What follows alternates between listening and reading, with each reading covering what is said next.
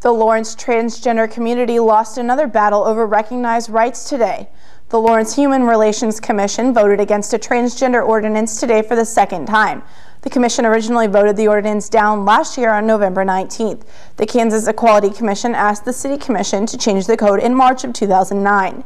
This time the ordinance was turned down by a vote of 4 to 3.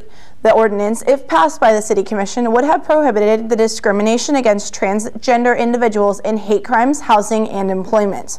What I spoke about was that I'm a transsexual woman and that that I know I was born into a male body, but but I'm a woman. I'm completely a woman, and I tried for years and years to express myself as a male because that's what society demanded from me, and it absolutely didn't work. And Supporters on both sides of the ordinance said that they would continue to keep fighting for what they felt was right.